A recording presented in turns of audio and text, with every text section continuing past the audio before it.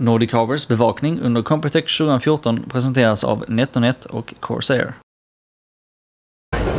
Asus satsar hårt på gaming i egentligen alla formfaktorer men här på Computex har varit mycket fokus på små formfaktorer.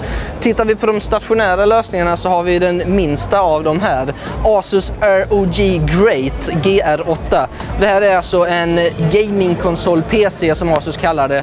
En gaming-PC i litet format som eh, bara på 2,5 liter faktiskt har lyckats trycka in rätt så trevlig hårdvara.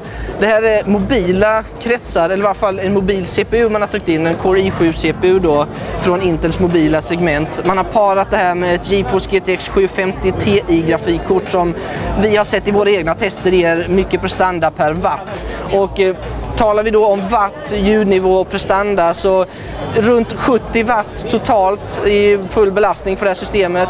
Ljudnivå från 23 decibel i vila upp till 28 decibel vid fullt, eh, fullt ös. Så att, eh, ett, en tyst men kraftfull, förhållandevis kraftfull i alla fall, maskin bör det här bli.